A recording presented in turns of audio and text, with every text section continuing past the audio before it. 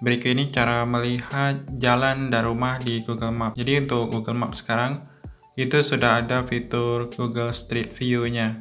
Tapi tidak tahu kalau Google Map Go ini apakah ada atau tidak. Jadi saya praktekkan yang di Google Map biasa. Nah untuk itu kalian bisa buka Google Map atau map yang ini di Android ataupun di iOS.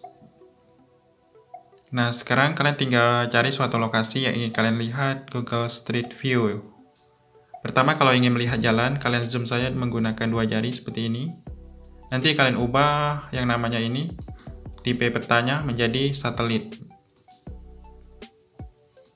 Nah, seperti ini. Ini kan terlihat lebih jelas untuk jalannya.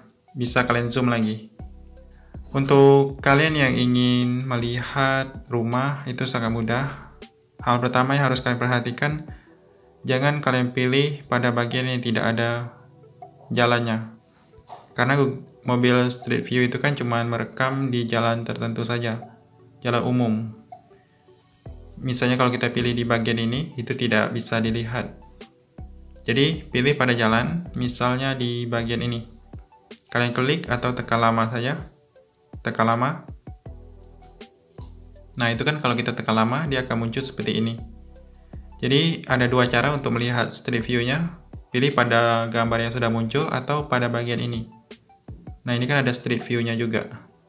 Street view yang ada garis biru itu berarti lokasi yang direkam oleh mobil street view. Jadi kita bisa tahu, nah pada lingkaran ini berarti ada street view-nya.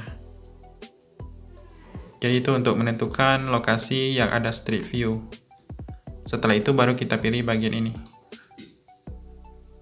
Jadi seperti ini caranya. Kalau kalian ingin melihat atau berjalan di lokasi ini tinggal kalian klik pada bagian ini. Nah, pada bagian warna biru ini. Itu kan ada garis biru. Lalu kalian usap seperti ini pada garisnya.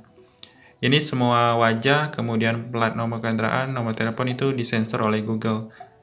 Kalau kalian lihat di sini, ini rekaman untuk Street View tahun 2000 berapa ini? 2019. Jadi ada tulisan di sini. Nah ini 2019 Google, berarti ini data lama, karena dia direkam menggunakan mobil. Kalau misalnya yang seperti ini di bagian Street View, terus kita pilih pada bagian lingkaran ini, nah itu kadang kontributor Google Map yang memasukkan gambar seperti ini. Jadi itu saja, silakan kalian coba sendiri.